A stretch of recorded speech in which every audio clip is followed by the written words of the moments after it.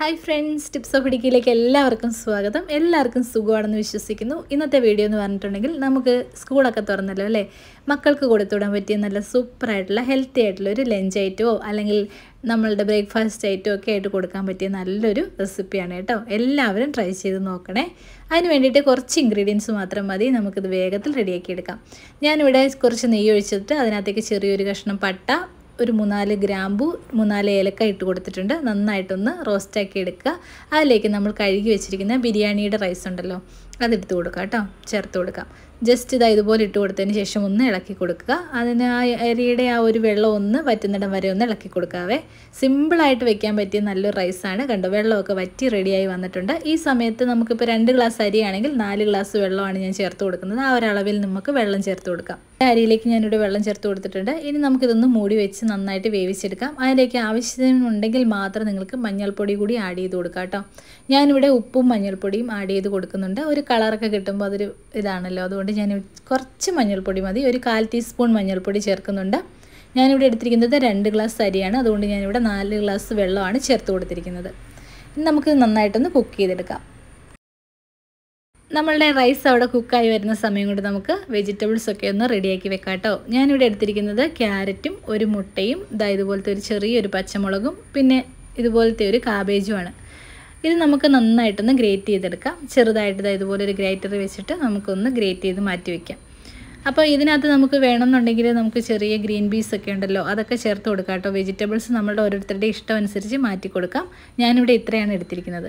അപ്പോൾ നമ്മളുടെ റൈസ് ഇവിടെ നല്ല രീതിയിൽ വെന്ത് വന്നിട്ടുണ്ട്. പാകത്തിന് വെന്ത് വന്നിട്ടുണ്ട് കണ്ടോ? വെള്ളമൊന്നുമില്ല കറക്റ്റായിട്ട് അളവിൽ വെന്ത് വന്നിട്ടുണ്ട്. ഇനി നമുക്ക് ബാക്കി കാര്യങ്ങൾ ചെയ്തെടുക്കാവേ. ഇനി നമ്മളുടെ വെജിറ്റബിൾസ് റെഡിയാക്കാൻ വേണ്ടിയിട്ട് നമുക്കൊരു മസാല ആദ്യം തന്നെ റെഡിയാക്കാം അപ്പോൾ ഈ ഒരു സമയത്ത് ജലദോഷവും പനിയും ചുമയൊക്കെ വരുന്ന സമയമാണ്. അതുകൊണ്ട് കുറച്ച് നമ്മളുടെ മസാല ചേർത്തിട്ട് നമ്മൾ ഇതുപോലത്തെയുള്ള കാര്യങ്ങൾ ചെയ്യുന്നതായിരിക്കും നല്ലത്. അതിന് വേണ്ടിയിട്ട് ഒരു ടീസ്പൂൺ നമ്മളുടെ കുരുമുളക് എടുക്കുന്നുണ്ട്. കാൽ ടീസ്പൂൺ അയമോദകവും അര ടീസ്പൂൺ ജീരകവും ചേർത്ത് കൊടുക്കാം. ഇത് നല്ല രീതിയിലൊന്ന് ചതച്ചെടുക്കാം കേട്ടോ. ഇതെന്ന് പറയുന്നത് നമുക്ക് നമ്മളുടെ ജലദോഷവും ചുമയും ഒക്കെ വരാതിരിക്കാൻ ഒരുപാട് സഹായിക്കും. അപ്പം നിങ്ങൾക്ക് ട്രൈ ചെയ്ത് നോക്കാം. നല്ലൊരു മസാലയാണേ മിക്സിയിൽ വെച്ച് പൊടിക്കണമെന്ന് ആവശ്യമില്ല കേട്ടോ. ഇതുപോലെ ജസ്റ്റ് കല്ലിൽ വെച്ച് പൊടിച്ചെടുത്താൽ മതിയാകും. ഇനി നമുക്ക് ഒരു പാൻ ചൂടാകാൻ വെക്കാം. അതിനകത്തേക്ക് നെയ്യാണ് ഒഴിച്ചു കൊടുക്കേണ്ടത്. നെയ്യ് ഞാനിവിടെ ഒരു രണ്ട് ടീസ്പൂൺ നെയ്യ് ഒഴിച്ചു കൊടുക്കുന്നുണ്ട്. വളരെ കുറച്ച് അളവിൽ മതിയാകും. ഇനി നമ്മൾ നേരത്തെ ചേർത്ത് വെച്ചിരിക്കുന്ന നമ്മളുടെ ചതച്ച് വെച്ചിരിക്കുന്ന നമ്മളുടെ മസാല അങ്ങോട്ട് ചേർത്ത് കൊടുക്കാം. എന്നിട്ട് ഇത് നന്നായിട്ടൊന്ന് റോസ്റ്റ് ചെയ്തെടുക്കുക. അതിനുശേഷം അതിനകത്തേക്ക് നമ്മൾ നേരത്തെ റെഡിയാക്കി വെച്ചിരിക്കുന്ന നമ്മൾ അരിഞ്ഞു വെച്ചിരിക്കുന്ന പച്ചക്കറികളും കൂടി ചേർത്തങ്ങ് ഇളക്കി കൊടുക്കുക കേട്ടോ. ഇതിനകത്ത് ബീൻസ് ചേർക്കാൻ വളരെയധികം നല്ലതാണ് കേട്ടോ. ബീൻസ് ചെറുതായിട്ട് അരിഞ്ഞ് ചേർക്കുവാണെങ്കിൽ നല്ലതാണ്.